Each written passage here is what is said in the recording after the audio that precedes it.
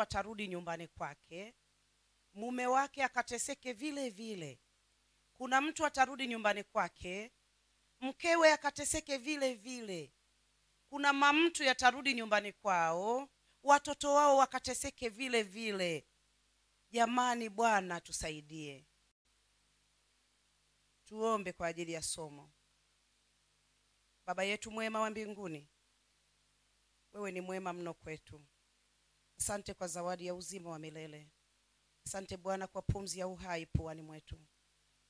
Tumekuja mbele zako tena kusikia neno lako.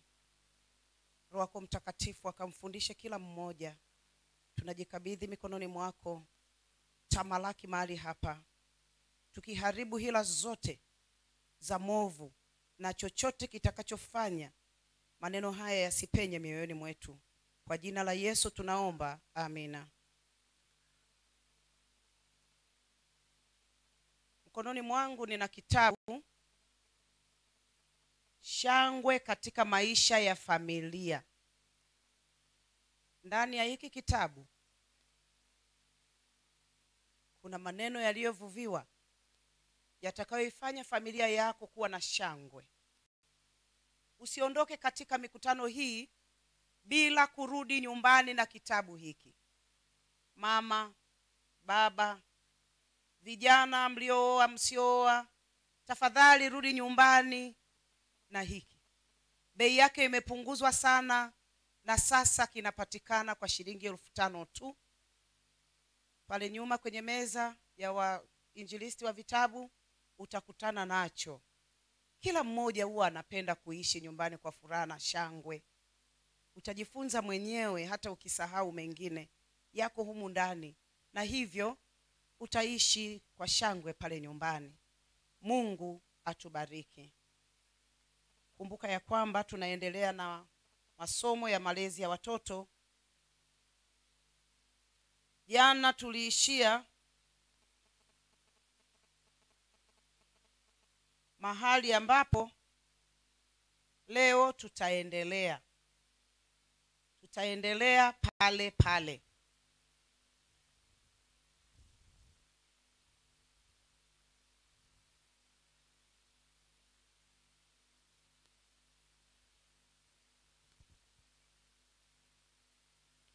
jana tuliishia ya kwamba usiwatukane watoto wala kutumia lugha ya matusi.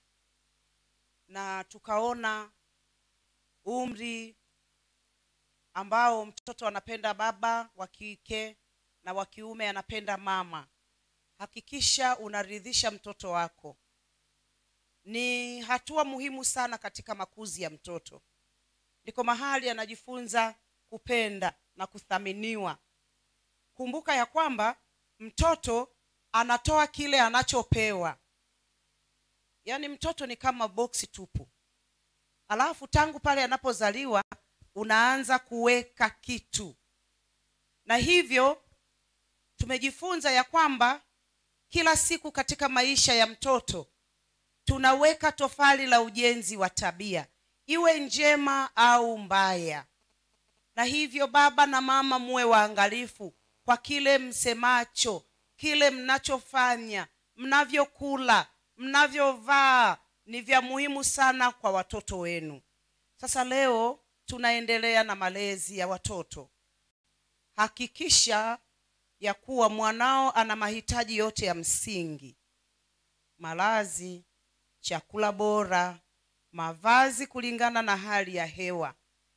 Hakikisha mtoto wako ana mahitaji yote ya msingi. Mpatie mtoto chakula bora na sio bora chakula.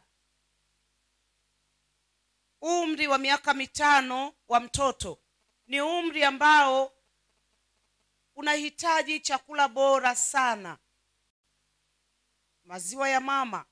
Mama ale vizuri anyonyeshe. Si mama anaenda kufanya kazi tangu asubuhi. Mpaka jioni hajala na ananyonyesha mtoto. La huyu mtoto atakosa akili zenye akili. Atabaki na akili tu zile za kawaida za kuvaa nguo. Lakini kama unataka mtoto mwenye akili zenye akili hakikisha unampa chakula bora. Na chakula bora kwa yule mtoto chini ya miaka miwili ni maziwa ya mama anyonye hata baadaye anapopewa vile viongezeo lakini basi mtoto huyu anyonyeshwe. Mpe chakula bora. Wazazi wengi wanakula chakula kile kile na watoto wao. Chini ya miaka mitano mama anapika wali kwa maharage tena wali wenyewe unacheka kwenye sahani alafu anampa mtoto.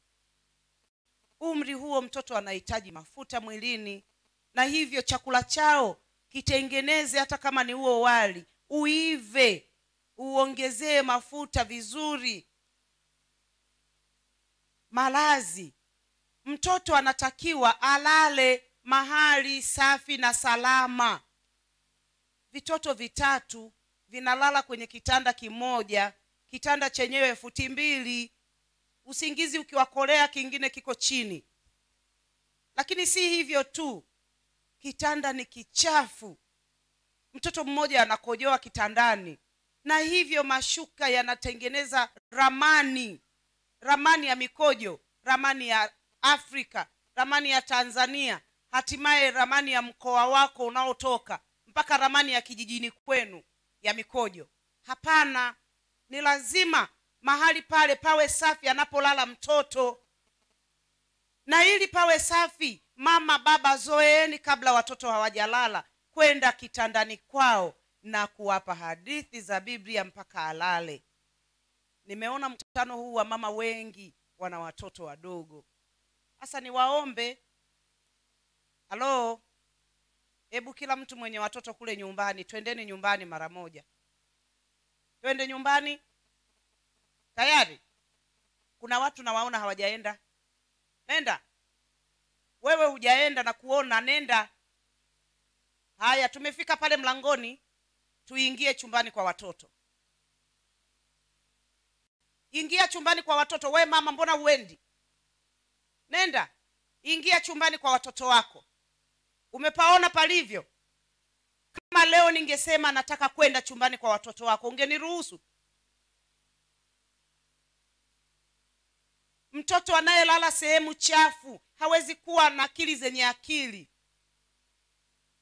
Kwanza unatengeneza mwanadamu mchafu.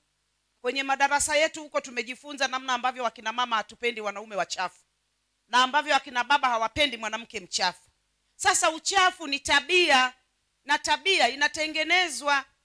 Huyu mtoto aliyezoea kulala kwenye mikojo ya jana ya juzi ya juzi anakuwa mchafu. Hakikisha watoto wako wanalala mahali fulani pasafi. Na hiyo mtoto atapata usingizi mzuri bila mang'amng'amu.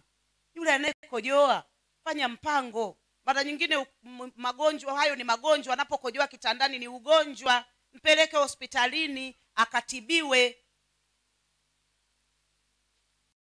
Wape mavazi kulingana na hali ya hewa. Wakati wa baridi wewe mama mtoto anavaa vinguo vya joto wakati wa joto ndipo unavalisha sweta hapana mpe mavazi kulingana na hali ya hewa. Lakini usiwalaze watoto wakubwa pamoja na wadogo. Dunia sasa imeharibika. Usikubali watoto wako wa miaka mitano analala na yule wa miaka kumi na mbili kumi na tano. Atakuharibia watoto wengi walioharibika hawaharibiwi na watu baki wanaharibiwa nyumbani. Sasa hapa utaniambia mi nina vyumba viwili nitafanyaje? Kama mwanaume akili yako ichangamke. Weka tofali moja moja. Jenga nyumba ili ulaze watoto wako. Umri pale mnapooana anzeni kuweka mipango vizuri ili muwe na nyumba yenu ili watoto walale inavyostahili. Kwa hiyo usiwalaze watoto wako wakubwa pamoja na wadogo. Lakini pia usiwaze watoto na wageni. Hao mashoga wengi mnaowasikia ni wale ambao ushoga umefundishwa na ndugu. Hivi kilanja wa hapa ni nani? Wale kule wamebeba watoto na sasa tunajifunza masomo ya malezi ya watoto. Mkanitolee wale watu kule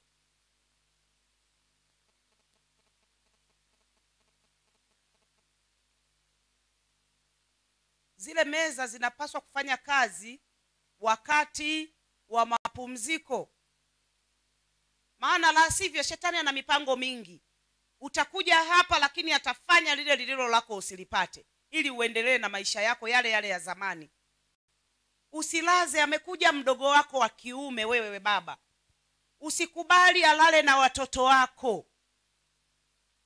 Amekuja kaka yako wewe mama usikubali alale na watoto wako ni hatari. Sasa una vyumba viwili unafanyaje?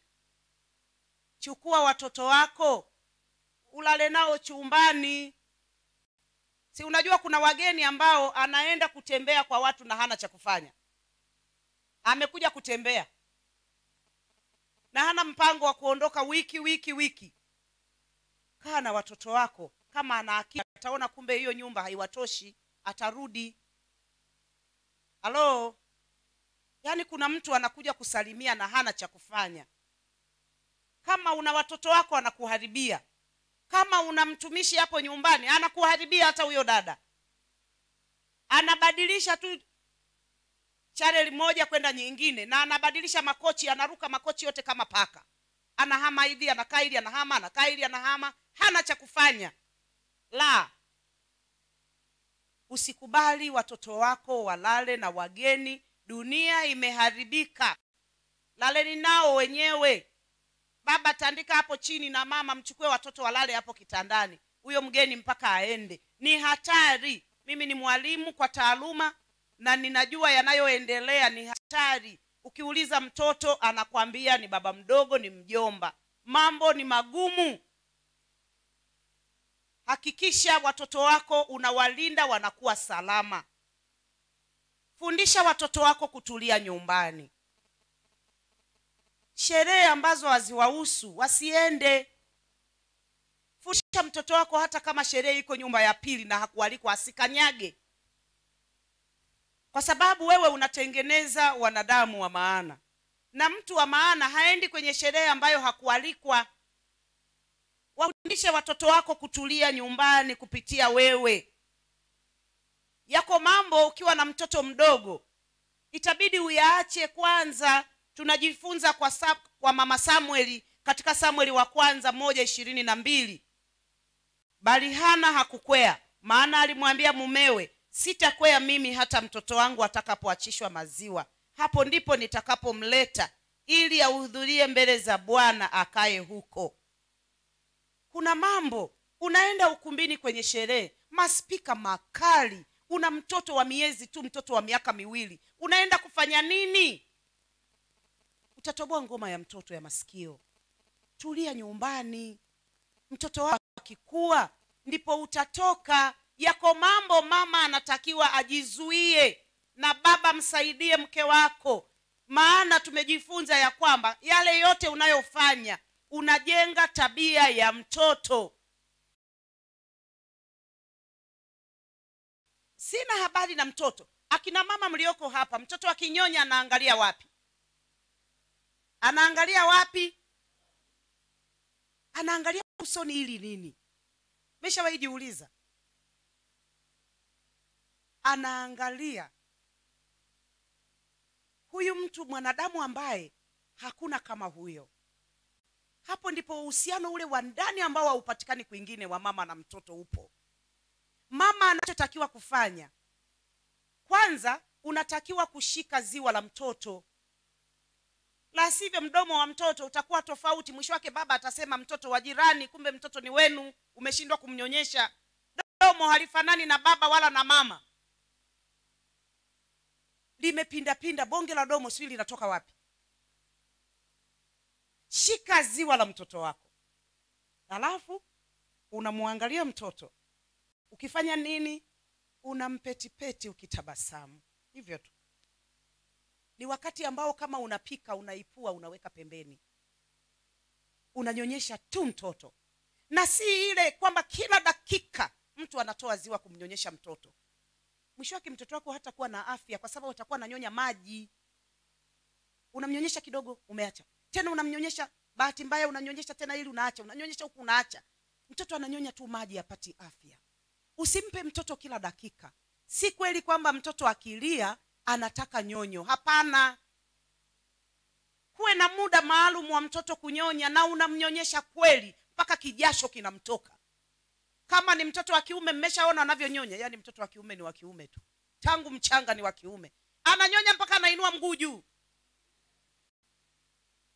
na kajasho kanamtoka. Ni wakati muhimu sana wa kutengeneza mwanadamu wa maana. Badala yake tumetengeneza wanadamu wa ambao anafanya mambo ya hovyo muda wote. Anasoma shule akitafuta maboyfriend akitafuta magirlfriend hivyo. Anasoma na huko anafanya mambo mengine. Yaani mwanadamu ambaye akili haitulii. Tuliza akili ya mtoto wako. Wakati wa kunyonyesha usizungumze na mtu nyonyesha tu. Ni kipindi kitapita. Tumia miaka miwili kunyonyesha mtoto. Namshukuru mungu nilinyonyesha miaka miwili watoto wangu wote. Na wana akili zenye akili. Ni watu wa maana. Lakini walinyonya. Wakati fulani kijana wangu wa pili lilikuwa linene sana. Sasa alipofika mwaka mmoja na miezi sita mume wangu akaniambia we nawe unanyonyesha mtu mzima namna hii? Mwachishe. Nikakubali. Baadaye ikapita siku ya kwanza ya pili. Hmm. kasema huyu ananiuza. Levi njoo nyonya mwanangu.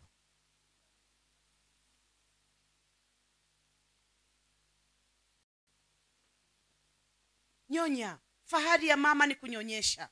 Nyonyesha mtoto wako vizuri. Nyonyesha vizuri. Wala usilipuelipue mnyonyeshe mtoto wako.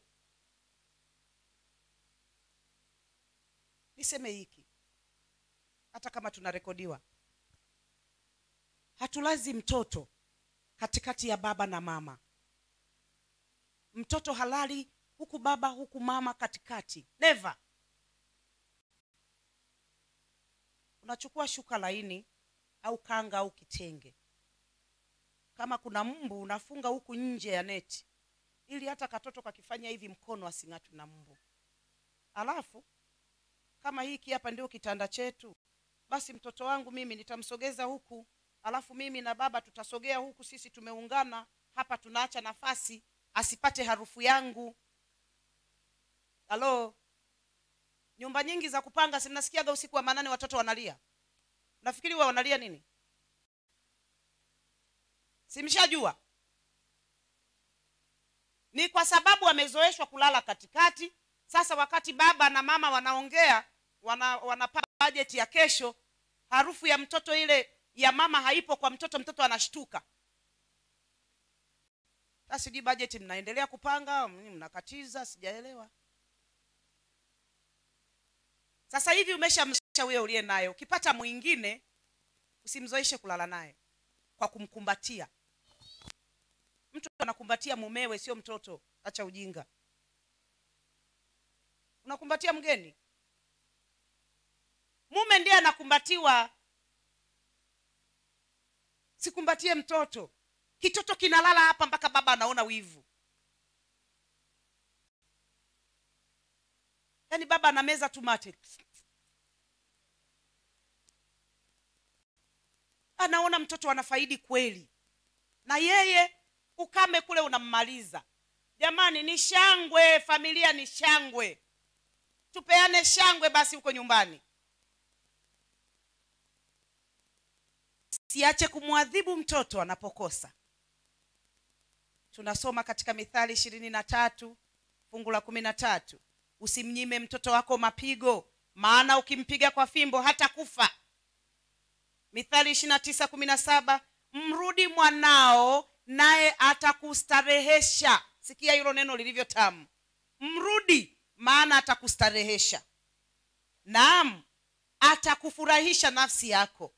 Mithali kumi na tatu ishiri na nne yeye asiyetumia fimbo yake humchukia mwanawe bali yeye ampendaye humrudi mapema.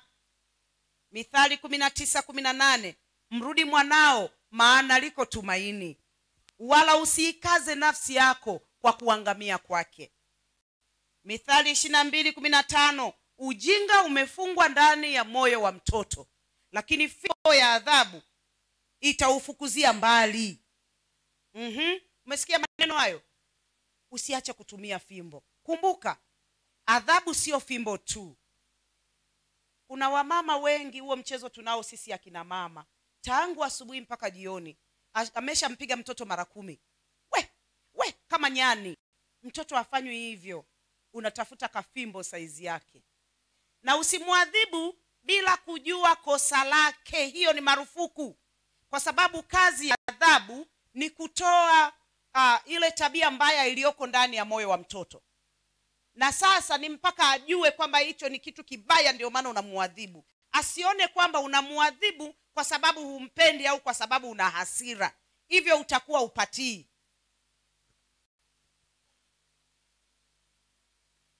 usimuadhibu ukiwa na hasira.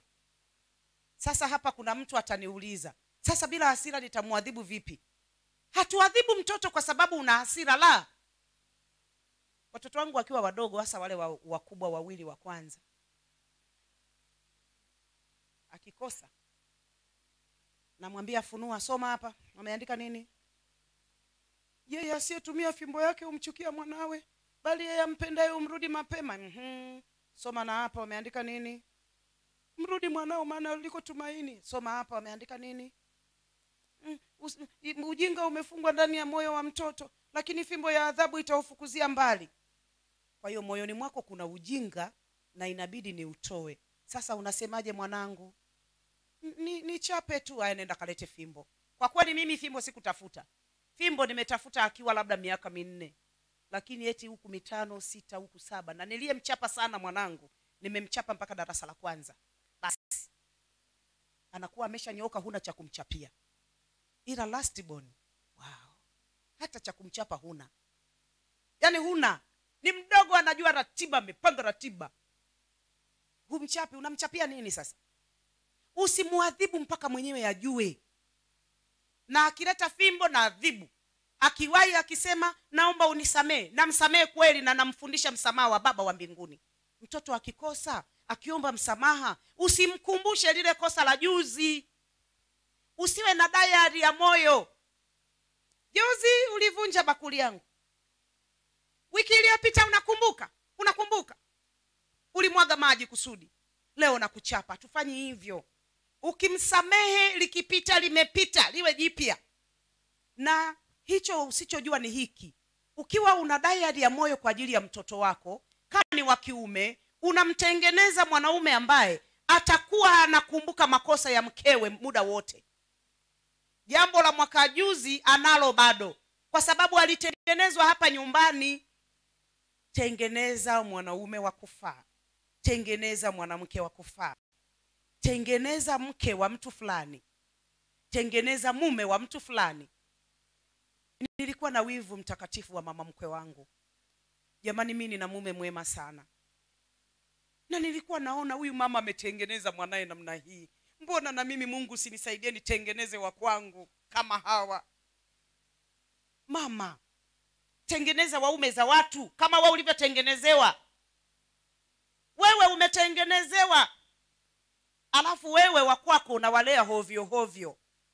We baba kuna mwanamke fulani na mwanaume fulani walitengeneza huyo mwanamke na wewe watengenezee wanaume wengine. Aje kumwoa huyo binti yako? Hata muda na binti yako huna. Mkali muda wote. Usifanye hivyo. Ukimwahidi kuwa utamwadhibu hakikisha kuwa unafanya hivyo. Halo? Hapa kuna kosa huwa kubwa sana tunalifanya. Unaahidi na hutimizi. Hiyo tabia unaitengeneza kwa mtoto.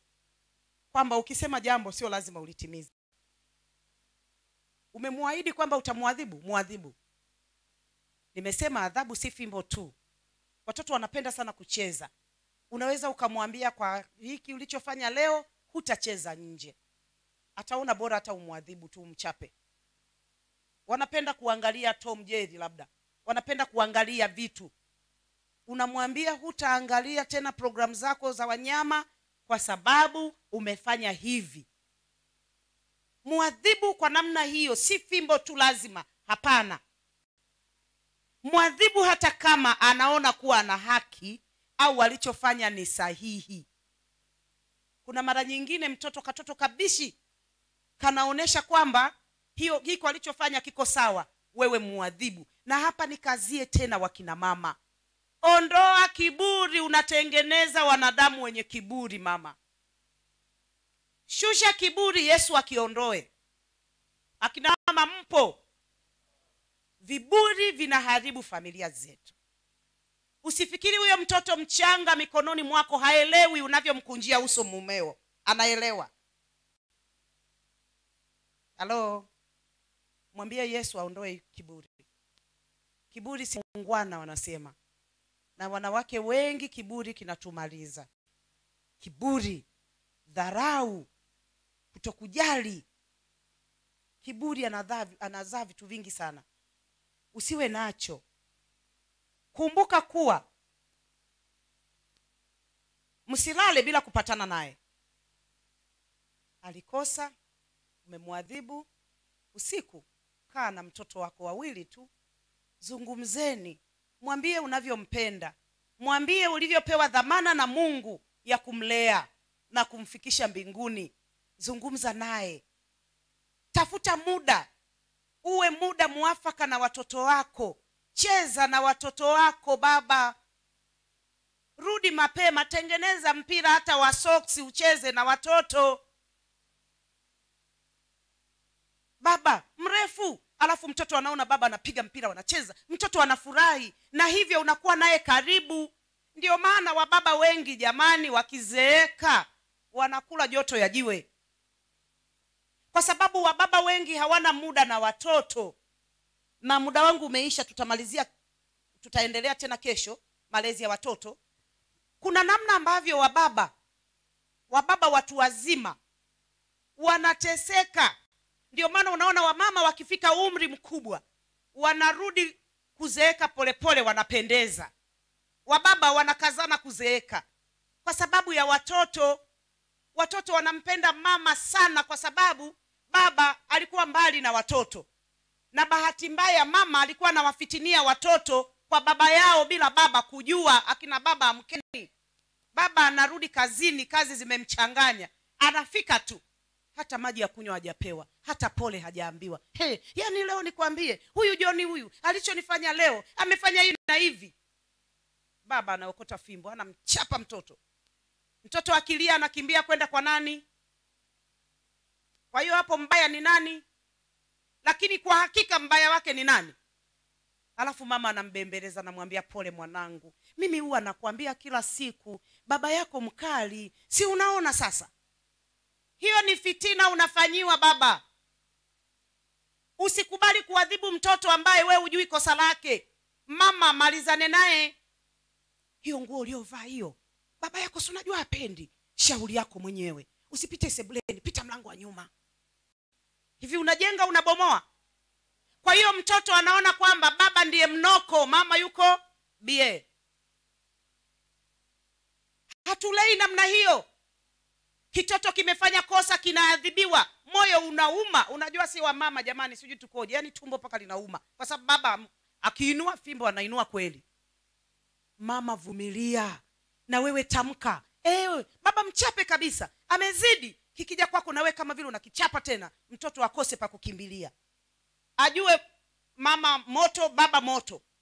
Asione mahali fulani pa kupenya.